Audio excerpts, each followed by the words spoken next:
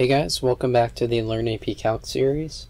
Today we're going to go over polar and parametric derivatives for BC only. So if you're in AB, you can just skip this video, go to the next video in the playlist. But if you're in BC, you need to know this. So we're going to go over how to find dy dx for a parametric, how to find dy dx for polar, and drd theta and what sort of drd theta means. If you guys have any questions, be sure to leave a comment, or you can ask in the weekly live streams we do every Sunday from 4 to 5 p.m. Eastern. Other than that, we'll get started. Alright, so let's talk about finding a parametric derivative. So here, our dy dx equals dy dt over dx dt, where we'd simply cancel out these dt's and be left with dy over dx. So to find a parametric equation's derivative, simply find dy dt and dx dt, and then set dy dt over dx dt. So an example here, find dy dx for y of t equals sine t squared, and x of t equals t to the e, t times e to the t. So here we're just going to find our dy dt, and this is going to be the hardest part, is this, and then also simplifying if you're asked to simplify. So sine of t squared, I have to do the chain rule, 2t times cosine of t squared. My dx dt, I have to do the products rule, so e to the t plus t e to the t and then I'm just going to put dy dt over dx dt to get dy dx.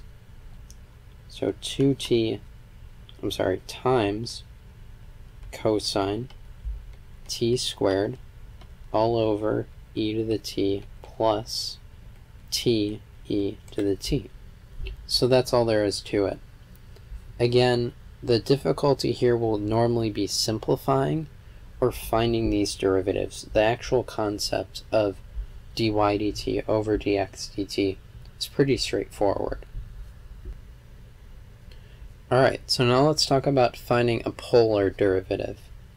So to find dr d theta, simply take a derivative as you normally would, given the equations written with r's and thetas. So let's say we have r equals 3 sine theta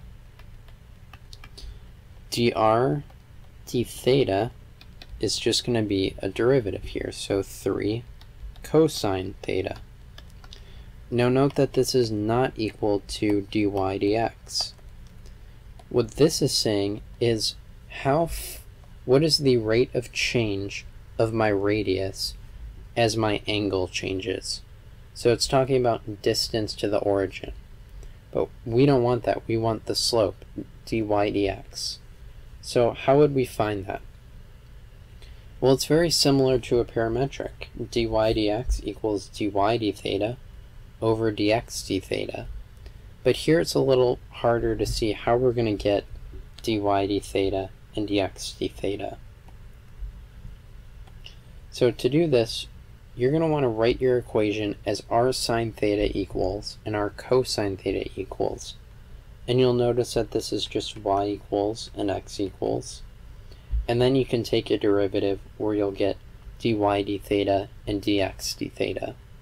So for example, find dy dx for r equals 2 plus sine theta.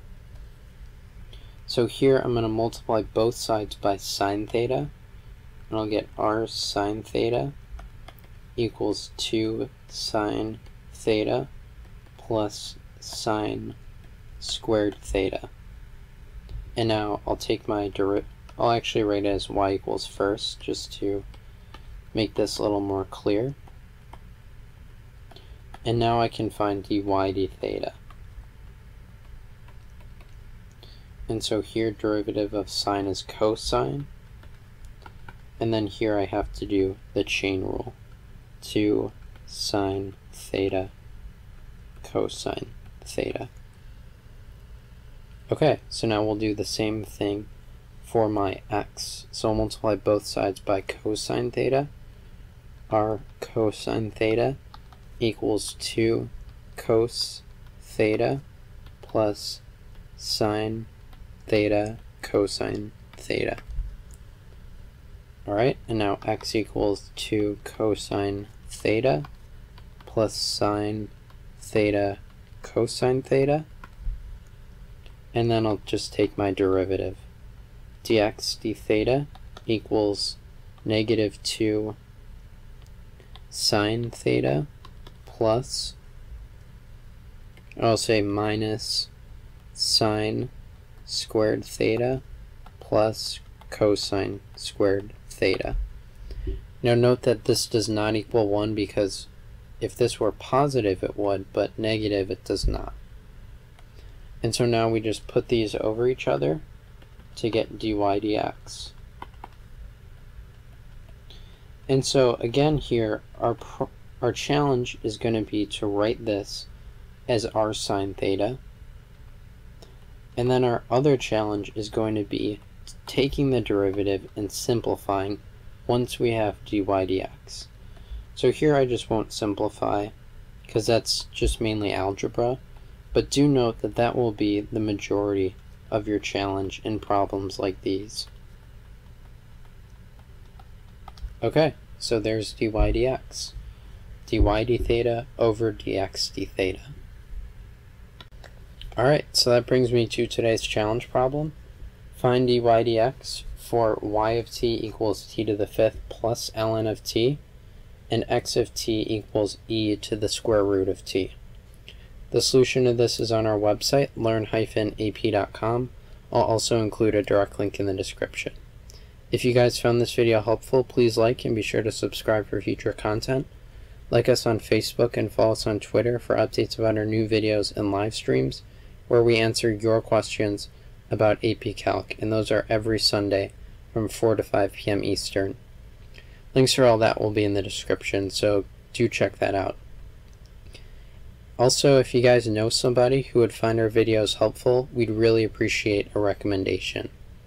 Leave a comment if you're still confused about anything, or also any other comments on the video in general. Other than that, I want to thank you guys for watching, and I will see you guys in the next video.